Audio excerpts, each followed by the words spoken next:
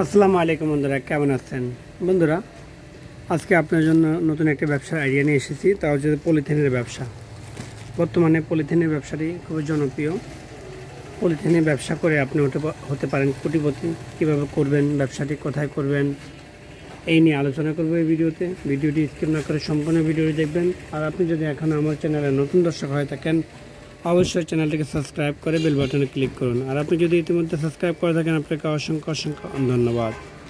বন্ধুরা, যে বিষয়টি নিয়ে আলোচনা করতেছিলাম, যে পলিথিনের ব্যবসা আপনি কীভাবে করবেন? দেখুন, এই পলিথিনের ব্যবসা আপনি করতে পারেন দুই প্রকারে, খুচরা আর একটা হচ্ছে পাইকারি। খুচরা আপনি গ্রামে, গঞ্জে যেখানে সেখানে আপনি একটা দোকান দিতে পারেন, অর্থাৎ গ্রামে কোনো বাজারে আপনি একটা দোকান দিতে পারেন। দোকান দিয়ে আপনি ব্যবসা করতে পারেন। আর যদি আপনি হোলসেল দিতে চান তাহলে এক্ষেত্রে আপনাকে শহরে দোকান দিতে হবে। কোনো জেলা, উপজেলা শহরে দোকান দিতে হবে। দোকান দিয়ে আপনাকে এটা দোকান দোকানে হোলসেল দিতে হবে। তো হোলসেল দিলে আপনি খুব সহজে কোটিপতি হতে পারবেন।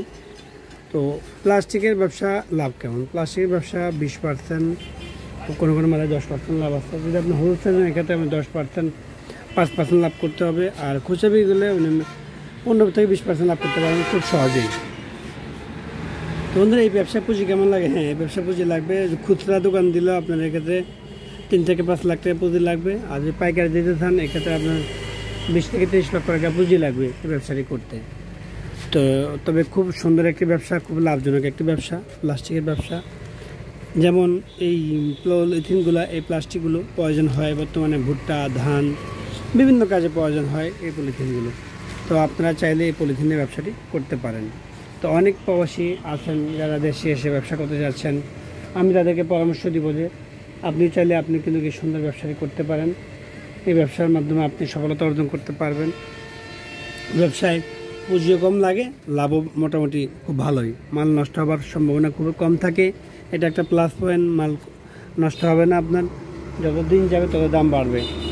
তো যারা প্রবাসী আছেন, যারা দেশে আসতে ব্যবসা করতে যাচ্ছেন, আমি বলব যে প্লাস্টিকের ব্যবসা আপনি করতে পারেন, তবে এই ক্ষেত্রে আপনাকে একটু হালকা অভিজ্ঞতার প্রয়োজন আছে। কোনো দোকানে আপনি দুই থেকে তিন মাস সময় দিবেন।